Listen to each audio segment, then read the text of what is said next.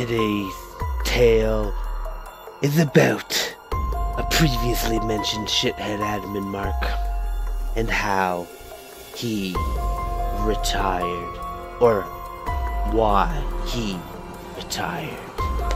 It started with the three 1v1s that we're seeing now. This game he opened up with a pool first and did no damage, only killing a few marines. And we can see that the push is happening.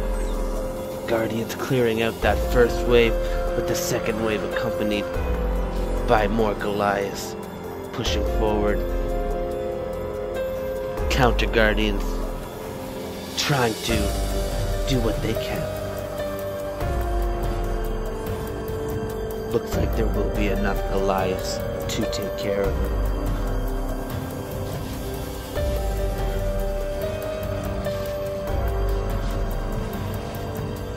Getting closer to that main.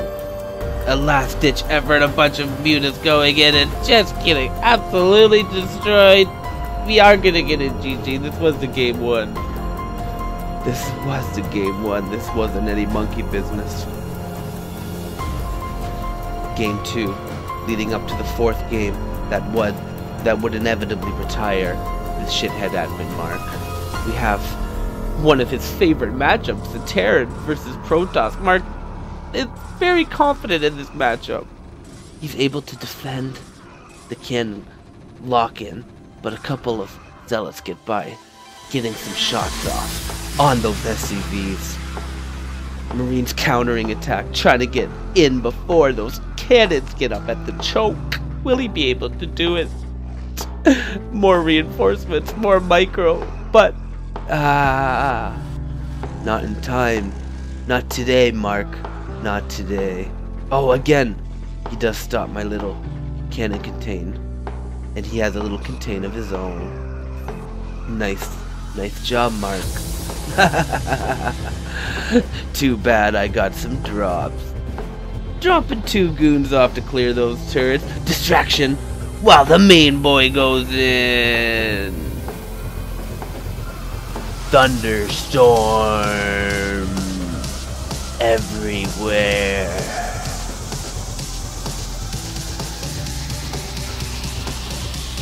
Where are your SCVs, Mark? Where are your SCVs? Another drop coming in. Right at the choke with a lot of high Templars.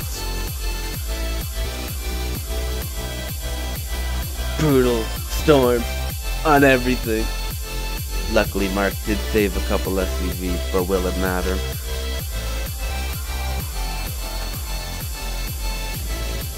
So many SCVs dying to the storm. Did nobody warn them? Did the Terran news station not warn them about the Tony G storm, incoming storm that was happening? Everything. Oh my god.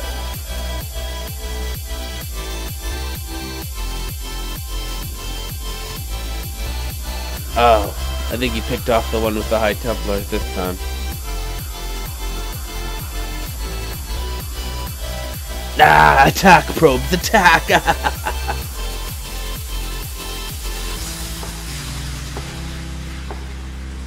Chopping Mark everywhere, tearing at Mark's patience, his every last molecule of well-being is getting tested right now.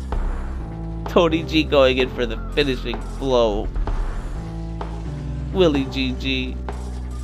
No, he won't GG. Jumping in to the third game.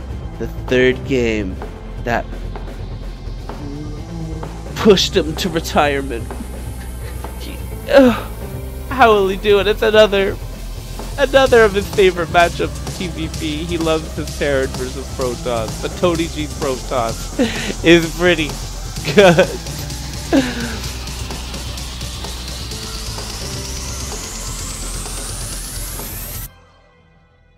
What did you what did you call me, Mark? Mass attack! Who No one calls me a pussy! Mass attack number one. BM got to me a little bit. Retreat. But that doesn't matter. I max up again. In very quickly and I go in. I go in. I will not be called a pussy. Ah!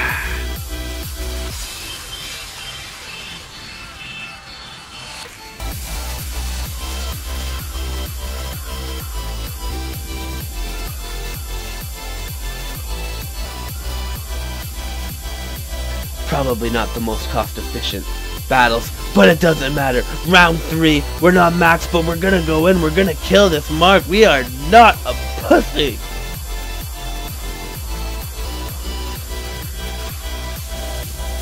Alright, alright, back up, back up. That's a lot of tanks, Tony.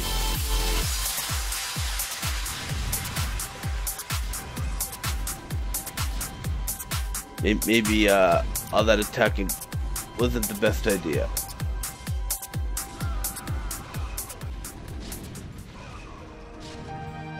Maybe this is the end of Tony G. Maybe this is a happy ending for Mark where he gets a victory. Is he able to break Tony G? He's doing so well. He's he's right in Tony's base. He's pushing forward. Mark, maybe Mark does it. Maybe Mark does it. Mark, the miracle. Pushing again. So close, Mark. You're so close to Tony G's minerals.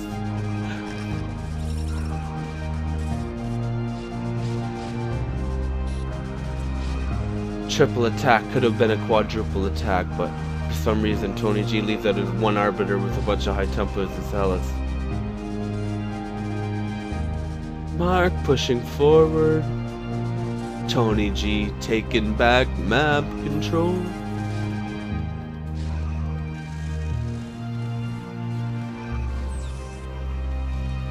Another nice surround attack by Tony G trying to stop this huge Terran army that he let get this big because he only focused on massing. But BAM! Carriers! DTs! Saving the day! Gonna defeat that mark today!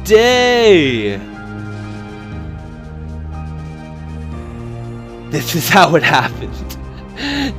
we jumped into it. I told Mark, grab your best partner in let's 2v2. I'll take Dano and I will battle you. You call me a pussy, I will battle you, Marcus. So here's a game that retired Mark. Me and Dano versus Mark and his best favorite partner of all time. What is up, you all YouTube and loving people of the world, nation, galaxy, universe? How are you today? I hope you enjoyed that intro, and I hope you guys are excited to see how this tale concludes. The story, I already did a tale, so I'm going to do a story this time. How this story concludes, okay? So, you saw what happened. I just challenged uh, Mark to pick his best favorite partner of all time to 2v2 me since he loves 2v2 and since he has all these favorite people who are just, oh yeah, we just love 2v2 and 2v2 is so much more fun than 1v1. Mm, yeah, yeah. So yeah, we'll see how she goes. He, of course, picked uh, Pro Fantastic, somebody who is in the top five. Uh, top three usually in 2v2 every season. He is uh, a great 2v2 player.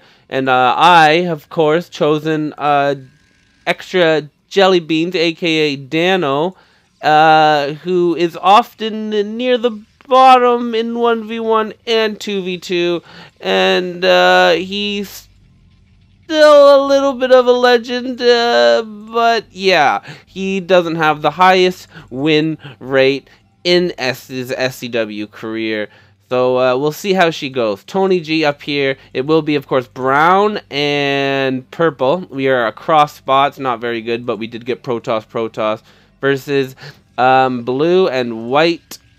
Beats Mark, of course, going to be Terran here. And his partner in Gosu Crime will be a red. We see him opening up with a four gate and uh, a three gate right here for uh, Tony G. And let's see what our Gosu Dano's doing. He is going for a assimilator and a cybernetics core very quickly. Very Gosu stuff by Mr. Jelly Beans. This is something that you can do if your partner is Protoss. Tony G is going to get a forge, perhaps going to look to cannon in Mr. Beats here so they can focus on 2v1ing Mr. Pro Fantastic. We'll see how this goes. Of course, I am no 2v2 expert, so I don't exactly know what the strategy is other than mass cannons at some point in the at some point in the game. Uh, the first two zealots are going to be thrown out here on the offensive against Mr. Fantastic. We'll see how he does, how he defends this. This pylon here is crucial to get so you can get two zealots to block any kind of attack from your enemy. He, uh, Jellybean throwing out some commands. He's gonna tell me to go Baal Massitas while he goes for a DT rush. We do see um, two probes out here probably going to slowly cannon Mr. White in. Tony G is slacking a little bit. I'm not sure exactly what he's doing. Maybe afraid of something. But uh, there is nothing there, Tony G. You don't have to worry. Pinging over here, uh, Red is coming out to do a counter attack on Purple, who may be a little vulnerable. Only one cannon up here, as he did get that super quick gas.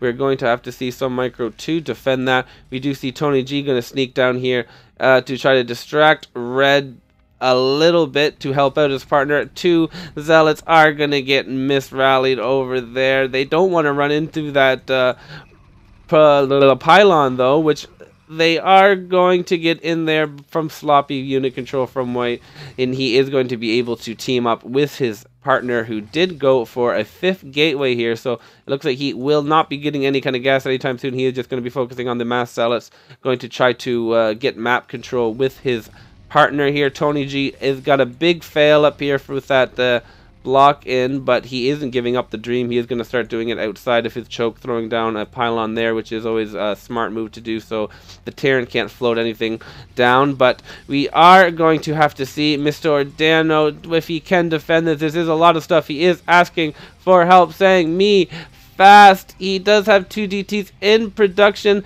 and I think luckily for them, they are going for that DT shrine instead of this main uh, he is stack pulling his probes, is going to stack this focus. Not the best choice by Mr. Marcus. He is focusing on up here, and he does have the lowest micro in this game, or lowest APM in this game, so that is a uh, typical thing we are going to see from Mr. Mark there, making uh, really poor choices with his army because he just can't control an army while macroing at home. Uh, no offense, Mr. Shithead Admin Mark, of course. Uh, the DTs are going to be out and that is going to be trouble. We don't even have an engineering bay down for Mr. Beats. It is super early DTs. The DTs aren't even going to go for him, though. They are going to make a mistake. Ah, good micro, though. At least Dano is going to be able to keep those alive and uh, going to push over here. We do see that nice little teamwork. They are going to do their best to possibly uh, block these DTs, maybe, so he can get some cannons up, but the DTs are in here, and there is no turret up yet. Going to uh, target that SCV, which is building that turret. A couple turrets are going to be at home, but losing this choke is not going to be good. These sneaky DTs are doing exceptional. We can see uh, the everyone, uh, all the Protosses are throwing their Nexuses back at home. You can see that on the mini map. But this attack is where all of the focus is going down. He's going to really have to keep these DTs alive. Brr, Tony G not really micro in these too well. He is sending in some more reinforcements, so they are going to try to kill Mr. Beats, or at least put him in a not so comfortable position. A couple cannons are going in at home. Um, more DTs out in front of Red. They are going to work together with Mr. Proby here to try to get some cannons up in front of Red, that which will block. This is, of course, the uh, meta in the 2v2 you can only build 200 uh, units, but you can build infinite amount of structures. And of course, cannons can attack air and ground and also detect so why not just mass them up since we have infinite minerals on this beautiful fastest map which is just so perfectly balanced in every aspect and is exactly how Blizzard imagined their game being played at the highest level. DTs are just doing absolute work here. A pretty good choice by Dano. That is why he is a 2 vs 2 master. Uh, because he just has some great decision making while also executing these really interesting builds quite well. DTs are swiping away, just doing massive damage. 40, 11 kills, 8 kills. They've got, and that's all uh, Zealots, I guess, and Marines.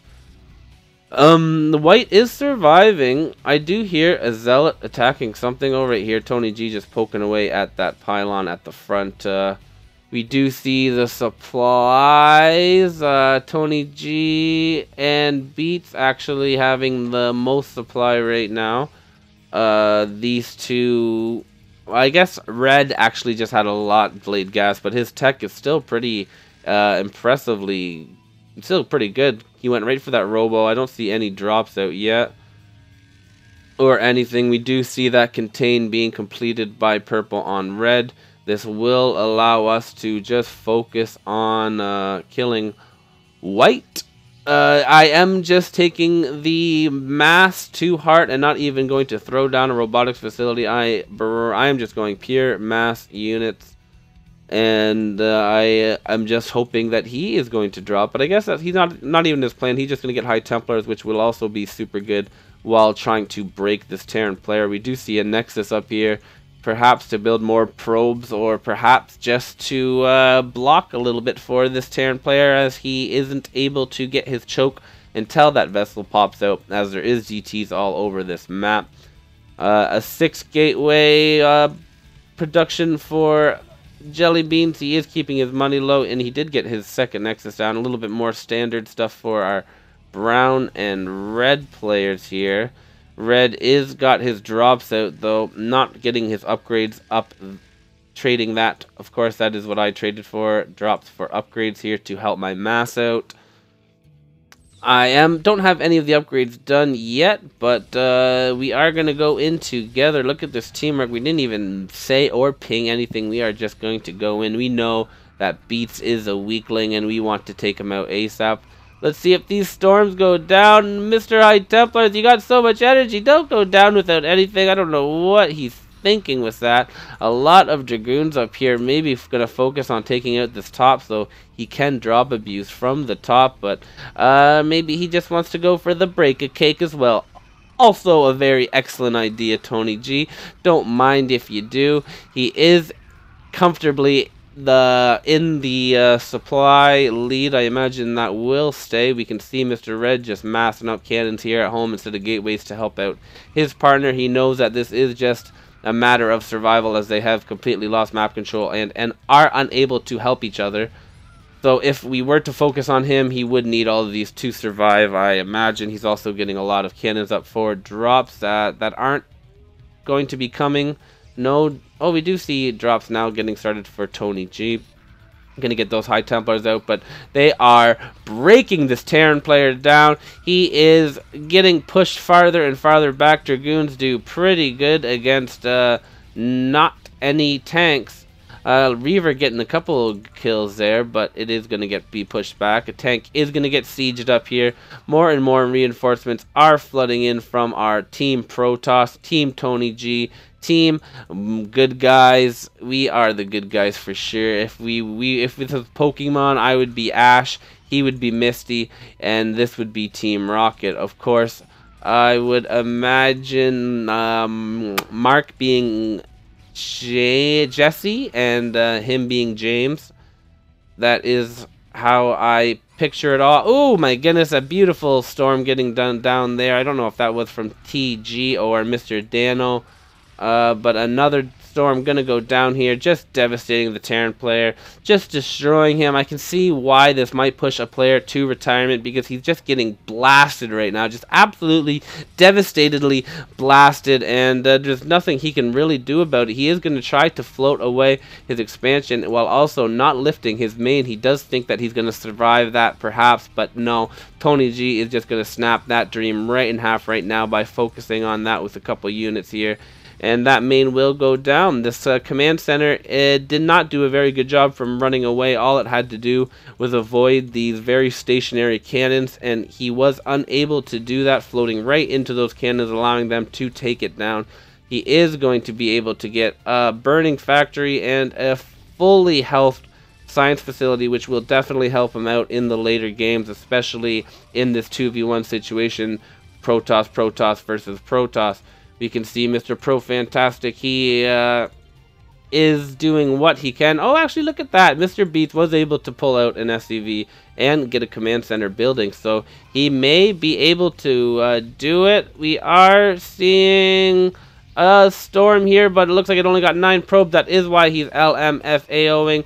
Tony G is going to go down here and make sure that nothing can survive. He does not want to allow Beats even a millisecond to collect any kind of minerals in any kind of spot that isn't this base from Red.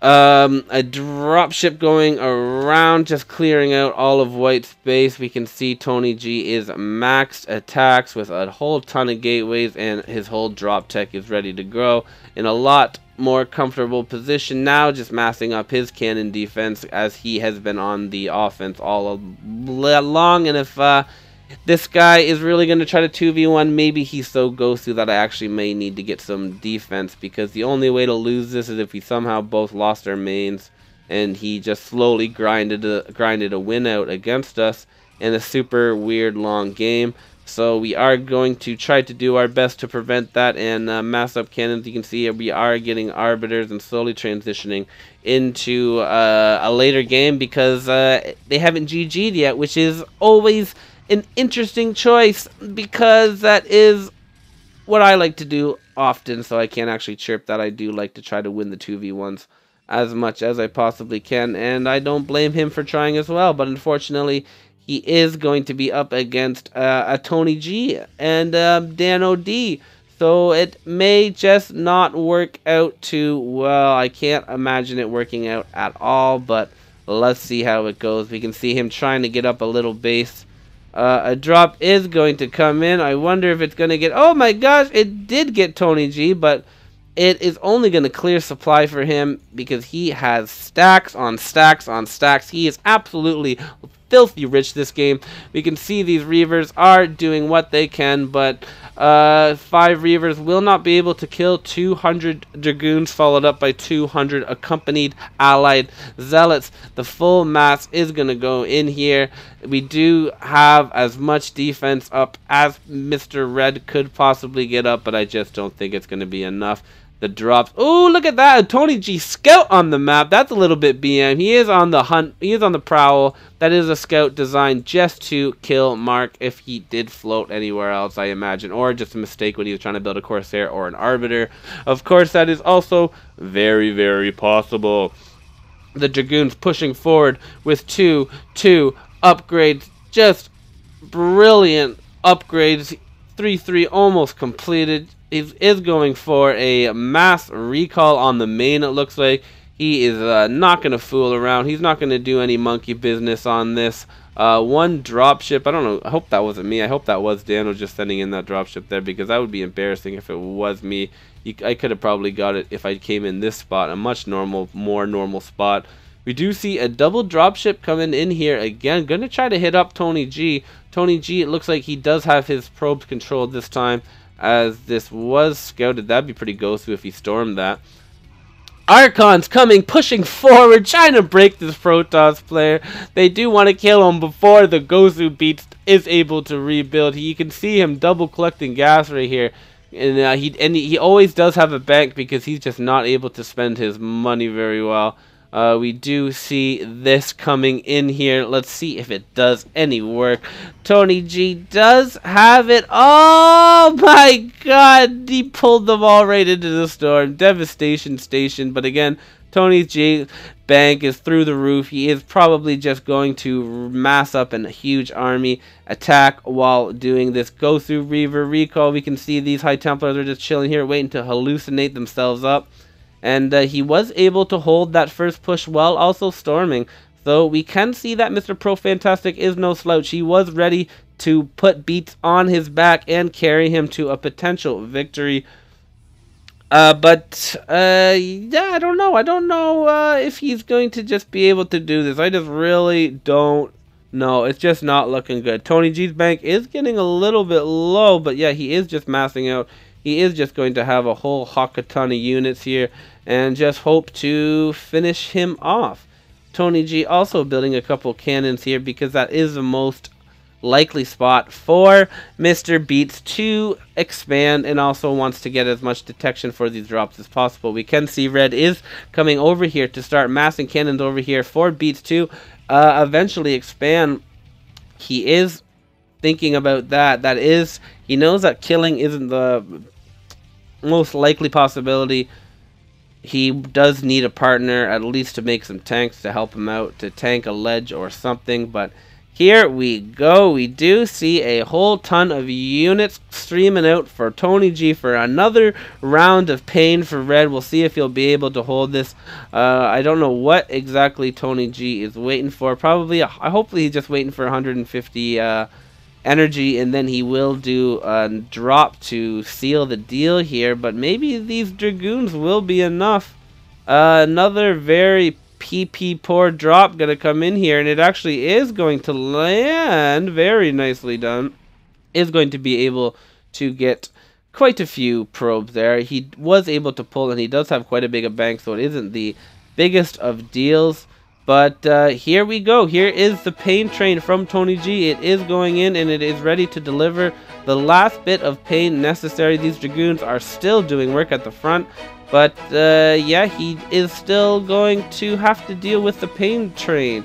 This Arbiter not in the best position, not uh, getting protected by his brethrens. It is going to go in here, nicely protected, and recall in a whole horse ton of Reavers, which will be able to destroy this main. And look at that, Beats is actually to GG on his final game, his final game of his whole StarCraft career. He is able to build up enough courage to GG. Uh, and yeah, wow, that's a fan, just a fantastic game there, Tony G uh, being able to clean up the uh, leftovers from Dano, who was able to just destroy those two with his DT rush, and uh, and uh, yeah, yeah, I think uh, that's the end of her story there.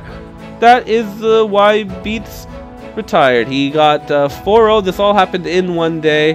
and yeah, it was just too much for him. I do. I'm proud of him for being able to say GG, uh, that was a classy move, even though he raged out the two times before. But uh, yeah, I just feel like that's important to put on the uh, YouTube history archives because Mark has a real specific memory for some things, and it's just really great to remind him of the reality of the truth. And so, yeah, anyway, GG, hope you enjoyed it, and until next time, it's your boy!